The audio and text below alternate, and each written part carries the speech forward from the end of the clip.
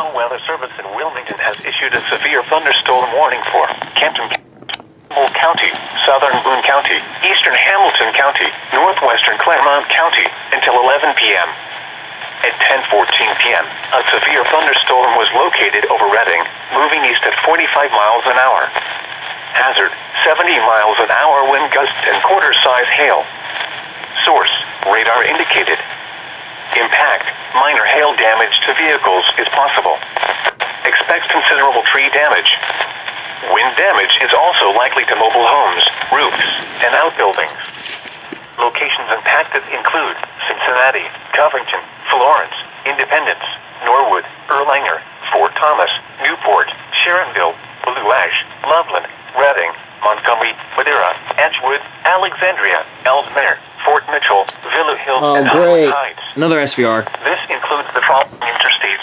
I-71 in Kentucky, mile markers 71 and 77. I-71 in Ohio, mile markers 0 and 20. I-75 in Kentucky between mile markers 157 and 191. I-75 in National Weather Service mile markers has issued a severe thunderstorm warning for northeastern Butler County, northern Warren County, western Greene County, southeastern Montgomery County until 11 p.m. At 10:17 p.m., a severe thunderstorm was located near Gratis, moving east at 55 miles an hour. Hazard: 60 miles an hour wind gusts and quarter-size hail. Source: radar indicated.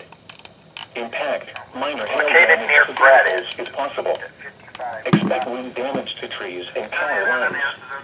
Locations impacted include Dayton, Kettering, Middletown, Beavercreek, Fairborn, Xenia, Trumbull, Miamisburg, Springboro, Franklin, Bellbrook, Moraine, Carlisle, Oakwood, Yellow Springs, Wright Patterson Air Force Base, West Carrollton, Waynesville, Wilberforce, and Riverside.